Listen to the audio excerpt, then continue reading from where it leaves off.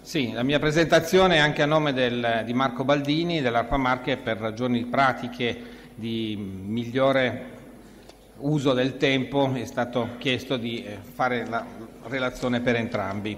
Eh, partirò dalle esperienze di, di, di, due regioni, la prima è quella dove lavoro, l'esperienza del Piemonte. Eh, la valutazione di impatto salute è stata una, una sfida che eh, ha coinvolto gli operatori della regione da, da parecchio tempo. Il, le, le, le, prime esperienze formative sono state condotte dal 2006 in poi. Parlo di esperienze formative perché ci si è resi conto che un'attività affidata alle attività del Sistema Sanitario Nazionale in buona parte, al Dipartimento di Prevenzione, non erano svolte per mancanza di conoscenze sia sulla metodologia sia sulla tossicologia sia sull'epidemiologia da parte degli operatori che lavoravano all'interno dei dipartimenti di prevenzione e che per l'espressione di una serie di pareri in cui era necessario fare valutazioni di risk assessment e valutazioni di impatto epidemiologico non avevano le competenze e le conoscenze per poterle fare. Eh, è stata fatta una valutazione congiunta delle necessità e eh, l'assessore alla sanità della regione Piemonte, in cui era stato pre- presentato la problematica della, dell'assenza della componente VIS all'interno delle procedure autorizzative di VIA e di VAS, aveva definito anche le, eh, le problematiche relegate, anche dal punto di vista legale, del fatto che la mancata espressione di una eh, di un parere previsto dalle norme portava anche alla configurazione dell'omissione di atti d'ufficio. Eh, il percorso è stato piuttosto lungo punto, nel, all'interno della nostra regione, ha riguardato una serie di corsi che ripetutamente nel corso degli anni, prima la formazione ai formatori e poi la formazione diffusa capillare sugli operatori del territorio hanno portato a una maggiore diffusione delle parti metodologiche, sono le stesse che sono state qui presentate. Io in questa presentazione non entrerò nel dettaglio dei metodi del, del calcolo degli unit risk, dell'applicazione su casi specifici, farò una breve rassegna di alcune componenti principali, ma arrivano alla, all'introduzione del, eh, dell'attività all'interno delle, de, de, delle conferenze di, di servizi sulle, eh, sulle varie procedure autorizzative con livelli differenziati di partecipazione.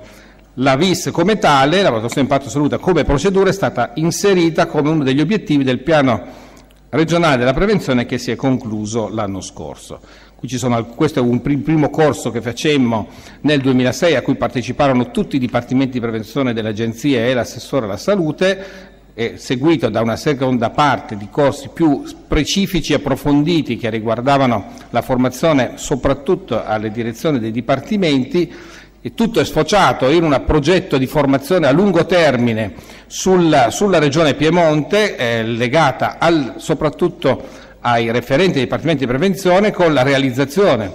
di una revisione dell'attività storica delle partecipazioni delle ASA alle conferenze di servizio la valutazione del carico di lavoro che questo comporta all'interno del sistema sanitario, la definizione di linee guida operative e metodologiche che sono state messe a punto e che contengono le, le, le, a livello regionale le metodologie del risk assessment, del health impact assessment, la differenziazione delle fasi, una proposta di suddivisione dei ruoli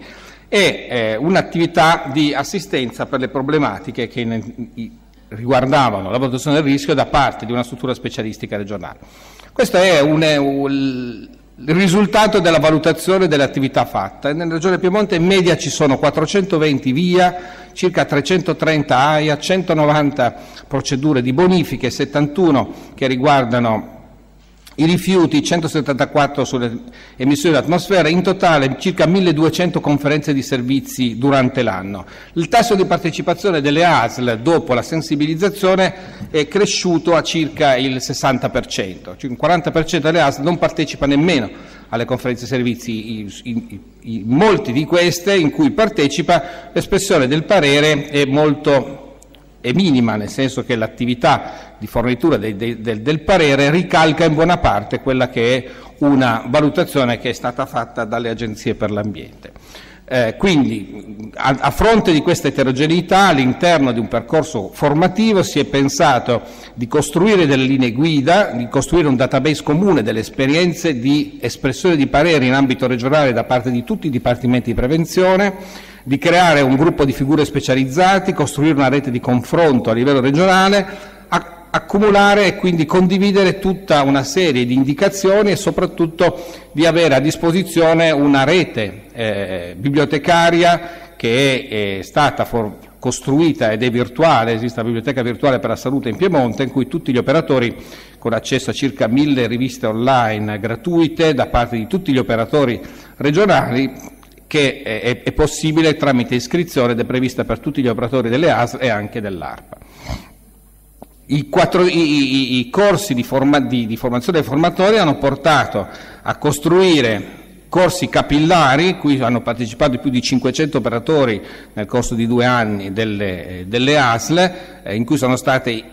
insegnate le metodologie dell'Health Impact Assessment, del risk, del risk Assessment, sono state predisposte alcune linee guida nel senso di raccolte di di pareri e anche di indicazioni generali da mettere per quanto riguarda le procedure autorizzative sulle, vi- sulle cave, sulle discariche, sugli impianti di compostaggio, sulle derivazioni idroelettriche, sugli impianti di biomasse, sugli impianti di produzione calore, sui piani regolatori generali comuni umani, sugli insediamenti zootecnici. Queste sono quelle che sono state completate. Alcune attività che abbiamo in corso. Una riguarda eh, la eh, TAV Torino-Lione, questa è la deliberazione eh, del CIPE del 2011 che eh, recepisce tutte le prescrizioni che sono state date al proponente. Una di queste, vi, vi sottolineo in particolare, è la numero 130 che era stata chiesta in collaborazione tra noi e i colleghi dell'ASA che, che lavoravano sulla tematica, era sulla salute pubblica, al proponente è chiesto di approfondire gli aspetti relativi alla salute pubblica secondo i modelli accreditati della VIS. Cosa che è da fare, il proponente si è trovato in difficoltà, non esistono indicazioni precise su come deve affrontare questa attività, su come deve predisporre una, una valutazione della salute pubblica che nel piano originale eh, della, della TAV Torino-Lione era ridotto a una pagina e mezzo, molto molto succinta e con pochi elementi e che adesso speriamo riesca a, predisporre in maniera molto più ampia e potrà essere valutata quindi da noi in maniera più approfondita. Un'altra riguarda l'inceneritore Torino. Eh, L'AIA dell'inceneritore di Torino, che è, stato, che è partito eh, nel eh, luglio-agosto dell'anno scorso, la prescrizione numero 6 che era stata inserita ex ante, dice che dovrà essere definito un piano di sorveglianza sanitaria di conoscenza della variazione dello stato di salute della popolazione residente, le cui modalità dovranno essere concordate con ARPA. Tale piano dovrà comprendere almeno uno studio panel sulla componente occupazionale, studi ripetuti individuali con rivelazioni biologiche e questionari sulla popolazione residente e sorveglianza degli effetti conosciuti sulla popolazione esposta. Questo ha portato a mettere a punto quattro linee di attività che sono in corso, il monitoraggio epidemiologico degli effetti a breve termine, in cui si metterà in relazione l'andamento delle emissioni, delle emissioni, non delle concentrazioni, dell'inceneritore in relazione all'andamento della mortalità e di ricovero ospedalieri della popolazione esposta nel modello di ricaduta, il monitoraggio epidemiologico degli effetti a lungo termine, con la valutazione degli effetti sulla corte di popolazione esposta, un, un biomonitoraggio della popolazione con biomarche di esposizione e un monitoraggio sulla salute dei lavoratori. Questa è eh, l'area di ricaduta presente all'interno dell'area del, di Torinese, l'inceneritore è posto qui e questi sono i modelli di deposizione dei metalli con i due campioni che sono stati sottoposti a una prima fase di biomonitoraggio prima dell'avvio dell'inceneritore e si farà il confronto della valutazione delle concentrazioni dei metalli PCB e diossine nel sangue prima e dopo l'entrata in funzione dell'inceneritore. Quindi è un monitoraggio post-AIA, ma è previsto all'interno dell'AIA stessa, prima che venisse eh, definita, con la verifica dei possibili effetti a breve termine, con verifica di effetti a lungo termine, con il biomonitoraggio e con il monitoraggio dei lavoratori. L'attività in corso è stata fatta la prima fase, al tempo T0, prima dell'entrata in funzione, e seguono come attività di monitoraggio successiva eh, le, altri tipi di attività. La fase di risk assessment, cioè la valutazione di impatto, è stata fatta prima della definizione all'interno dell'AIA dei limiti che dovevano essere rispettati dall'impianto. Alcune, un'esperienza del, del, delle Marche, nelle Marche all'interno dell'ARPA è istituito l'Osservatorio epidemiologico ambientale con delibera di giunta regionale i cui compiti sono la partecipazione, alimentazione di flussi informativi, controllo di qualità dei dati, valutazioni di risk assessment e poi soprattutto procedure eh, di analisi del rischio a supporto del, dell'azienda sanitaria regionale e eh, la parte di eh, assistenza all'interno delle procedure autorizzative di VIA e di, e, e di, VAS che nella Regione Marche sono svolte in particolare appunto all'interno dell'ARPA. Qui c'è un esempio che il collega Baldini eh, mi ha ehm, eh,